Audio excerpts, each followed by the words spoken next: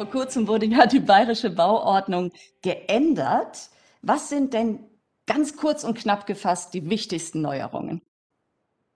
Also eine der wichtigsten Neuerungen war, das war mir auch ein Herzensanliegen, dass der Dachgeschossausbau bei bestehenden Gebäuden genehmigungsfrei gestellt wird. Weil in vielen Bestandshäusern äh, ungenutzter Speicher da ist, der gerade äh, ohne großen Aufwand kostengünstig im Wohnraum, gerade für junge Familien, auch umgebaut werden kann. Äh, ist klar, dass im, im vierten Stock dann äh, niemand, äh, 60, 70 oder 80-Jähriger raufzieht, aber gerade für junge Familien äh, sehe ich da eben die Chance, dass man günstigen Wohnraum schafft. Weiterer Punkt war die Abstandsflächenregelung. Äh, wollte man ändern, äh, wegen, damit man mehr Nachverdichtung hinbekommt. Ich sage, wollte man, äh, ist meiner Meinung nach das Ganze doch nicht ganz so glücklich gelaufen, weil äh, die Abstandsflächenregelung, der Vorschlag war mit 0,4 H, also 0,4 Höhe, Abstand zum Nachbarn. Jetzt ausgenommen sind die großen Städte wie München, Augsburg und Nürnberg. Und äh, war natürlich dann äh, bei den Kommunen draußen, bei den kleinen Städten unter 250.000 Einwohnern oder bei den Gemeinden war natürlich dann der Aufruhr ziemlich groß. Warum werden die, die Städte da verschont? Die dürfen weiter in, weiterhin ihre 1H-Regelung behalten und wir müssen 0,4 H machen. Dann haben wir den Gemeinden, den Kommunen eingeräumt, dass sie eigene kommunale Satzungen aufstellen können. Wie das dann letzten Endes weitergeht, ob das wegen der Ungleichbehandlung, ob das nicht irgendwann einmal vor Gericht landen wird, äh, ich bin mir fast sicher. Weiter wichtig war, dass wir endlich einmal eine drei Monate Genehmigungsfiktion hinbekommen. Weil die ganzen Baugenehmigungen, wer schon einmal gebaut hat, privat gebaut hat, äh, es ist oft ein Drama. Viele warten sechs Monate, neun Monate, ein Jahr auf ihre Baugenehmigung. So, und jetzt schauen wir mal, ob, wie, das, wie das durchführbar ist in den äh, Baugenehmigungsbehörden mit der drei Monaten Genehmigungsfiktion, dass wenn äh, ein Bauvorhaben nicht innerhalb von drei Monaten fair beschieden ist, dann ist automatisch genehmigt. Nächster Punkt, die äh, digitalen Baugenehmigungsverfahren. Um natürlich das, die Baugenehmigungsverfahren zu beschleunigen, ist wichtig und ist Voraussetzung, dass das Ganze auch gerade in der heutigen Zeit, wo man alles versucht zu digitalisieren, dass auch die Baugenehmigungsverfahren digitalisiert werden, dass man dann nicht mehr die großen Pläne ausbreiten muss äh, und äh, praktisch jede Sparte da dann drüber schauen muss. Nein, die Bauanträge werden digital eingereicht und wenn die auf Vollständigkeit geprüft sind, dass alle Unterlagen da sind, muss das sofort im digitalen Umlauf in allen äh, Fachstellen innerhalb von der Baugenehmigungsbehörde ja, rumlaufen. Interfraktionell haben wir uns jetzt geeinigt. Wir wollen natürlich schauen, was, bringen, was bringt die Novellierung der bayerischen Bauordnung. Und da wollen wir jetzt äh, einen interfraktionellen Antrag bringen.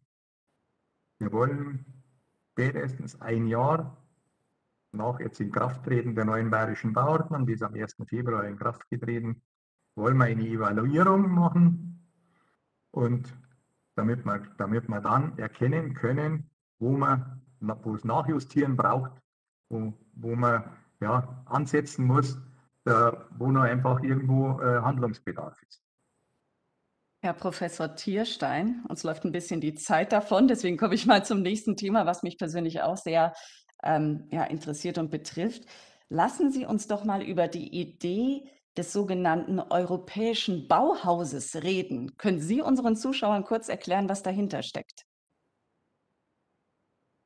Ja, äh, vielleicht kann ich anknüpfen an das, was Herr Friedl gesagt hat. Es gibt ja viele Entwickler, die sagen, das ist ja keine äh, Benachteiligung der kleineren Kommunen gewesen, sondern eine Benachteiligung der großen Städte.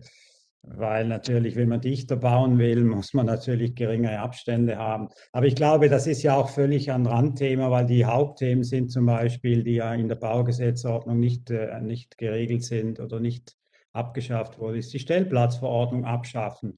Es gibt ja Städte, die das nicht mehr kennen, weil wenn Sie ein bisschen hochrechnen, wir reden von Wohnungsknappheit und so, wenn Sie jetzt fünf Stellplätze nehmen, dann haben Sie eine durchschnittliche Wohnung von 42 Quadratmeter, also als Volumen. Und also fünf Autos weg, eine Wohnung mehr. Und das können Sie gleich mal durchzählen in der ganzen Stadt und zwar auch in kleineren Kommunen. Da gibt es also auch äh, Wohnungsknappheit. Da haben wir ein ganz anderes Problem. Da müssen wir nicht über Abstandsregeln sprechen, sondern über die wirklichen Probleme. Wie gehen wir eigentlich mit der knappen Fläche um? Das, glaube ich, ist überhaupt nicht geregelt, weder im Bundesbaugesetzbuch noch in der bayerischen Bauordnung.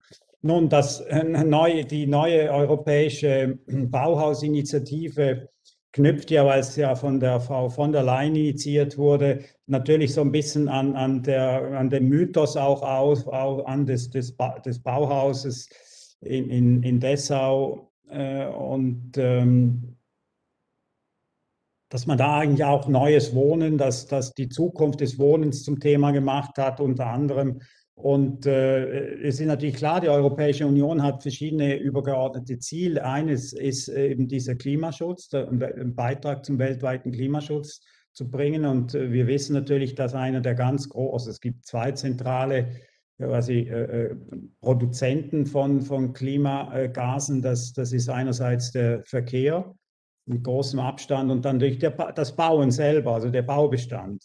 Und da wir natürlich gleichzeitig in Europa auch einen extremen Bestand an Kulturleistungen haben, also an, an, an Baudenkmälern und überhaupt an investiertem Kapital, ist die, Aufgabe eigentlich naheliegend, den Bestand zu erneuern. Und dort will eigentlich diese äh, neue, neues europäisches Bauhaus ansetzen, eigentlich diese ganze Frage des Umbaus im Bestand zu verbinden mit dem Klimaschutz, also CO2 reduzieren und das aber nicht so nach, dem, nach der Wintermantelmethode, ja, oder der, der Mützenmethode, wie man das jetzt 20 gemacht, äh, Jahre gemacht hat, immer mehr Dämmstoffe draufzupacken und somit die Erkennbarkeit, die Architektur und auch die Identifikation, ich gucke wieder zu Herrn Friedel, die Identifikation von gebauter Struktur zu verlieren, sondern tatsächlich zu gucken, also wie, wie kann man mit, mit, mit kreativen Methoden diese Dinge transformieren. Und da ruft jetzt Frau von der Leyen auch über alle Länder hinweg auch Bürgerinnen und Bürger auf, äh, lokale Institutionen hier mitzumachen, Ideen einzubringen. Das ist jetzt auch im Moment gerade eine Findungsphase. Letzte Woche war eine große zweitägige äh, digitale Konferenz. Über 8.500 Menschen haben teilgenommen an diesen zwei Tagen die sich da interessiert haben, ihre Initiativen auch vorgestellt haben. Ich habe da auch in einem Workshop teilgenommen. Also das ist schon eine sehr interessante Geschichte, auch noch zum Schluss, letzter Satz, weil für viele Menschen, denke gerade auch in Bayern natürlich die Europäische Union auch so was ist, das ist so irgendwo weit weg, ja. Und diese Initiative soll auch wieder das Thema Umbau unserer Umwelt, unserer Heimat näher an die Menschen zu bringen, indem sie sich auch selber beteiligen können. Also das, glaube ich, ist der Kern dieses Anliegens, das auch zu einer kulturellen, sozialen Aufgabe zu machen und nicht bloß eine technologische Aufgabe, die man irgendwelchen Ingenieurinnen überlassen kann. Zum Thema klimafreundliches Bauen werfe ich auch noch mal zwei Fragen vielleicht in die Herrenrunde. Denken Sie zum Beispiel, Holz als Baustoff sei die Lösung oder ist vielleicht auch die Sanierung bestehender Gebäude die klimaneutralste Variante, um grüne Ziele zu erreichen? Was meinen Sie, Herr Friedel?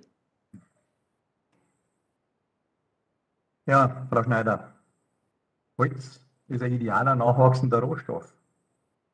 Der Ziegel ist aber ebenfalls ein klassischer natürlicher Baustoff und ist daher aber auch nicht zu vernachlässigen, zumal er auch meist in der Region, wo er verbaut wird, auch produziert wird. Deshalb werden sich die Freien Wähler dem Thema annehmen. Wir wollen eine Produktneutralität bei der Förderung und das ist ganz wichtig, natürlich bei vergleichbarer Ökobilanz. Beim Holz ist momentan ja auch schwierig. Angebot und Nachfrage klaffen momentan weit auseinander. Wegen der Nachfrage in die USA ist der Preis auf den Markt in Europa explodiert. Hinzu kommen Lieferengpässe, zum Teil Lieferzeiten von einem halben Jahr mittlerweile. Die Situation im Südosten der EU ist auch ein hoher Einschlag von Holz, um die EU-Nachfrage zu befriedigen, besteht absolut im Widerspruch zum Umweltschutz, weil einfach im Südosten der EU wesentlich mehr Holz jetzt eingeschlagen wird. Und die Sanierung bestehender Gebäude, wie Sie es angesprochen haben, ist auch immer ein wertvoller Baustein zur Verbesserung der gesamten baulichen Öko- und Energiebilanz.